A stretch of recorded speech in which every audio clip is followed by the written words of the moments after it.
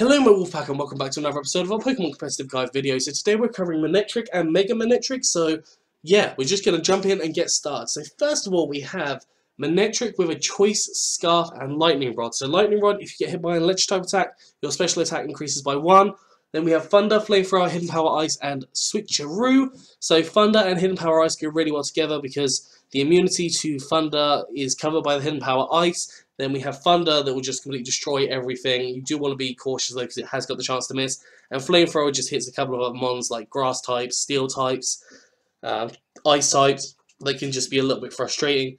And Switcher... Sorry, I got the hiccups. Switcheroos give that choice scarf to mons that don't want that choice scarf.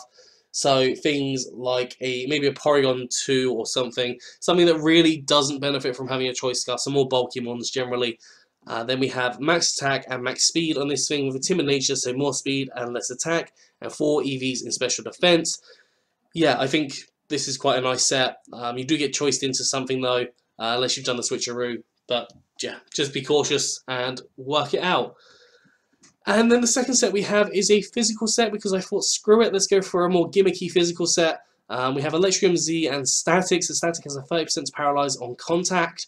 Uh, when you're you're hit by a contact move, Electrium Z goes well with the Wild Charge here and just gives it a bit more of a destructive power.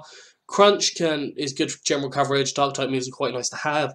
Ice Fang, again, coverage for those ground types. And Quick Attack, because sometimes that can just ensure a kill. Having that priority there is super clutch.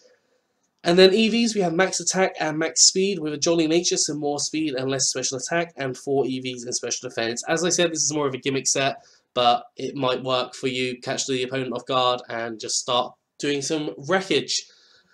And then the last set we have is Mega Manectrics with a Manectite, which obviously is where it has to hold, has to hold to Mega Evolve, And then we have Thunderbolt, Flamethrower, Volt Switch, and Hidden Power Ice. So very similar to that first set, but we have Volt Switch instead of Switcheroo because we're not getting rid of our item.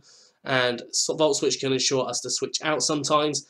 Uh, then we have Max Special Attack, Max Speed with a Timid Nature, and uh, 4 EVs in special defense. You can run modest if you want to, but I would recommend running timid just to ensure that you outspeed those base 30 mons that can be annoying as heck.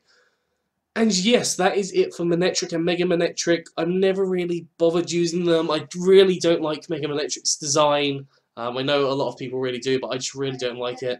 Anyways, I hope you've enjoyed this. If you have, please do like, subscribe, and comment. Let me know what you think down in the comment section below.